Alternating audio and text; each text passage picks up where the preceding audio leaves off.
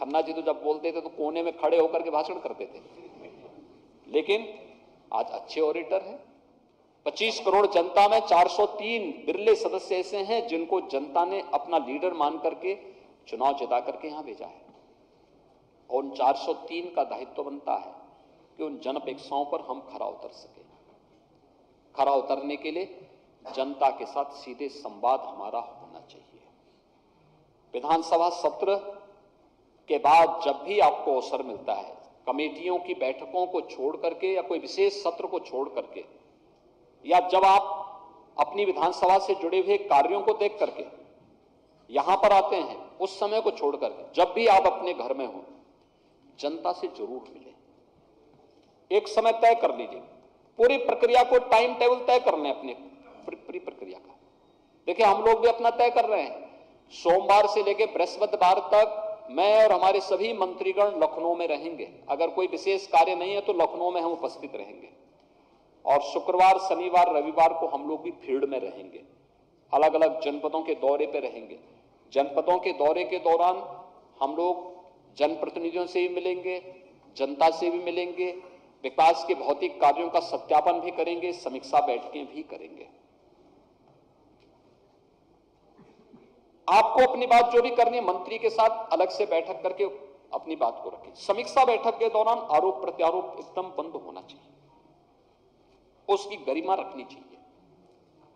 और अगर आपको आपको लगता है कोई व्यक्ति गलत है, कोई गलत काम कर रहा है, उसका अलग से जब बैठते हैं, उस दौरान अपनी बात को शालीनता के साथ रखें। फलाना व्यक्ति गलत है, फलाने व्यक्ति के बारे में आप एक बार जाँच करवा लें।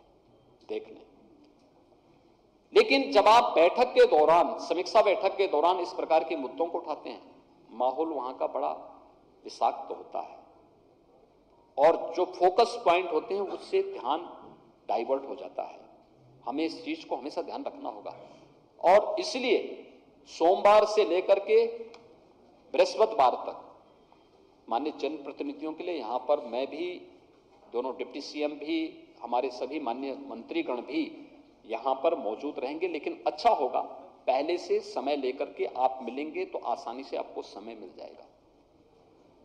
दूसरा, शुक्रवार से लेकर के रविवार तक, तीन दिन तक फ़ील्ड में किसी न किसी जनपद में कोई ना कोई मंत्री, विभागीय कार्य से, सरकारी दौरे के तहत, वहाँ पर रह करके जनप्रतिनिधियों के साथ भी और अन्य लोगों से भी मुलाकात करेंगे।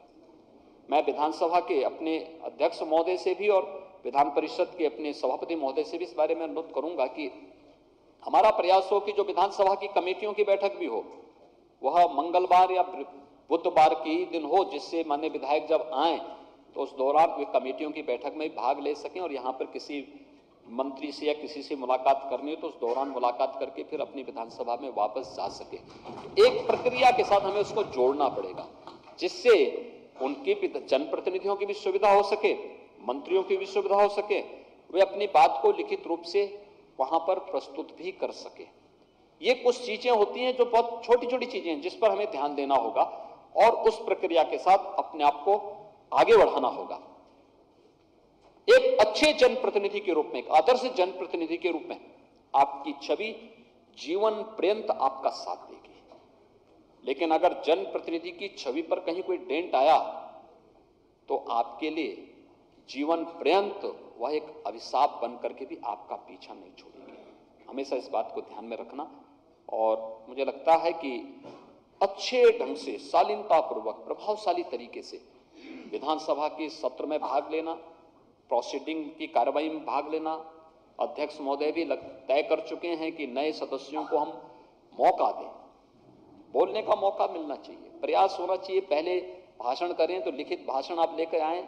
एक पेज का भाषण लेके आए। तीन मिनट, चार मिनट में अपनी प्रवास भाषण घर में भी कुछ बोलने का अभ्यास करें। खन्ना जी तो जब बोलते थे तो कोने में खड़े होकर के भाषण करते थे। लेकिन आज अच्छे ऑडिटर हैं। अच्छा भाषण करते हैं, घंटों बोल सकते हैं। आपको भी थोड़ा घर में पड़ा अभ्यास करिए, फिर आइए, बोलिए, लिखित पहला भाषण लिखित बोलिए। संसद में पहला भाषण जो होता है, लिखित पढ़ सकते हैं। लेकिन उसके बाद कागज़ देख करके आप केवल पॉइंट कोई बुलेट पॉइंट हो तो उसी को आप बोल करके पढ़ सकते हैं, शेष नहीं पढ़ सकते। और हमारा अभ्यास, प्रयास होना चाहिए कि विधानसभा में भी जब आपका भाषण हो, अभ्यास करके कम शब्दों में प्रभावशाली तरीके से अपनी बात को रखने की आदत हमें डालनी पड़ेगी। एक अच्छे विधायक के रूप में आपकी छवि बनेगी। जन अपेक्षाओं पर आप खरा उतरते हुए दिखाई देंगे। और जनता आपको अपना नेता मान करके बार बार आप पर विश्वास करेगी। यह जो है हमें करके दिखाना है और इस प्रबोधन का कार्यक्रम अत्यंत महत्वपूर्ण कार्यक्रम है। इस प्रबोधन के कार्यक्रम के साथ आप जुड़े। मैं आपको हृदय से धन्यवाद देता हूँ। आपका अभिनंदन करता हूँ। मान्य राज्यपाल महोदय का मार्गदर्शन आज हमें यहाँ पे प्राप्त हो रहा है। मैं इसके लिए एक बार फिर से आप सबकी ओर से मान्य राज्यपाल महोदय का हृदय से स्वागत और अभिनंदन करता हूँ। धन्यवाद। जय हिंद।